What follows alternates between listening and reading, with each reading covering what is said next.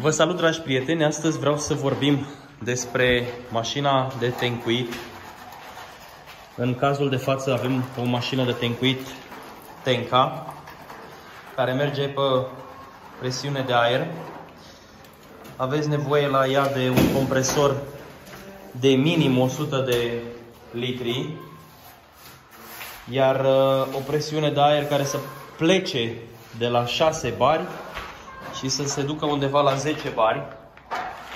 În cazul de față eu folosesc un compresor Stanley Fatmax de 100 cu presiune de 10 bari și vreau să vedeți și cum uh, merge. Avem uh, de dat o, ten o tencuială clasică, am dat uh, șprițul, după care o să mergem pe uh, grosier tencuială clasică, adică nisip, ciment și tenco. Ca și compoziție la betoniera asta noi mergem pe două găleți de tenco, o găleată de ciment și 18-19 lopeți de nisip.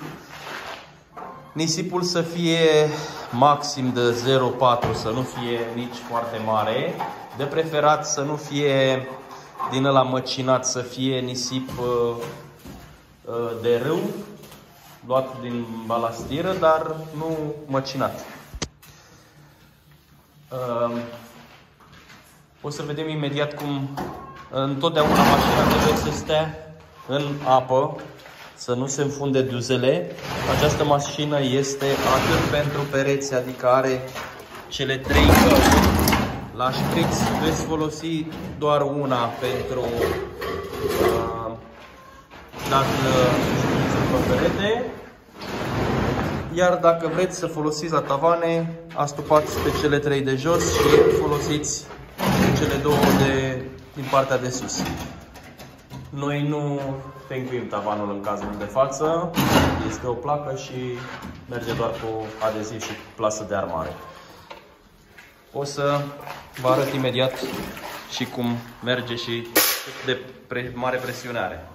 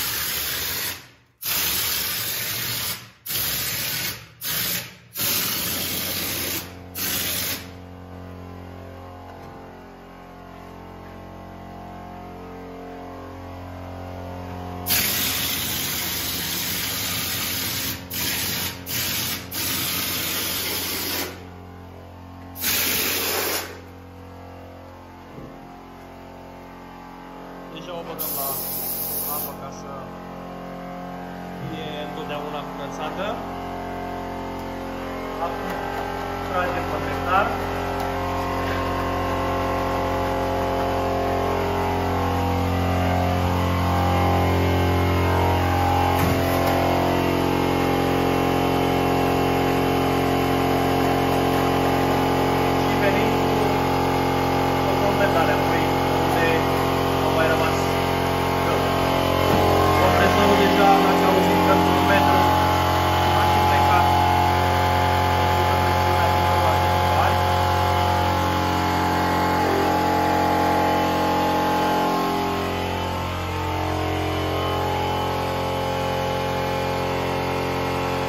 am mers ca să, să putem să avem un randament mai uh, bun. Am bordat pe pereți uh, niște bare PTC, peretele fiind drept, nu am avut nevoie de încărcătură foarte mare. Marele de 10,